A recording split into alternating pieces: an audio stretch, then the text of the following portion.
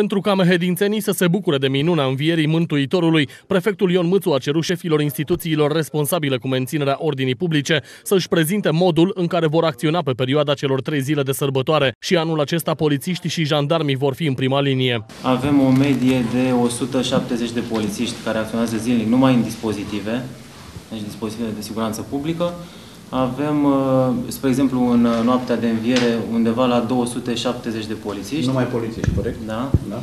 Toate acțiunile le facem împreună în sistem integrat cu jandarmeria. Oamenii legii au misiunea să asigure ordinea și liniștea publică, atât în mediul urban cât și rural. Aici vor avea cel mai mult de muncă, deoarece în anumite comune, polițiștii și jandarmii trebuie să fie prezenți și la anumite evenimente organizate în zilele de Paști. Vreau să vă raportez de asemenea că atât pentru sâmbătă și duminică, pe lângă aceste activități, se organizează anumite activități în mediul rural, în mod deosebit la Cujmir. Avem anumite solicitări la Prumișor pe data de 15, la Bubuș, la Cujmir, la Cireșul, Podene, Șelița, la Neguiești, Sărbări Câmpenești. Câți oameni aveți pe teren?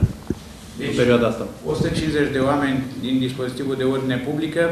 Prefectul Ion Mâțu a profitat de prezența șefilor tuturor instituțiilor abilitate cu menținerea ordinii publice pentru a le face și câteva recomandări. Așa se face că el le-a transmis atât polițiștilor cât și jandarmilor să dea dovadă de profesionalism și totodată să acționeze cu promptitudine acolo unde situația o impune. Nu vreau intervenții timide, intervenții în forță, nu vreau scandaluri, rapid, luați la poliție, terminat. Deci vreau atitudine în forță pe măsură. Deci vă dați seama că acum de sărbători vor fi pline toate restaurantele, toate barurile, toate cluburile. Deci mare atenție și aici. La întâlnire au fost prezenți și reprezentanții Direcției de Sănătate Publică Mehedinți. Aceștia au declarat că în unitățile medicale medicii sunt pregătiți să facă față tuturor situațiilor create.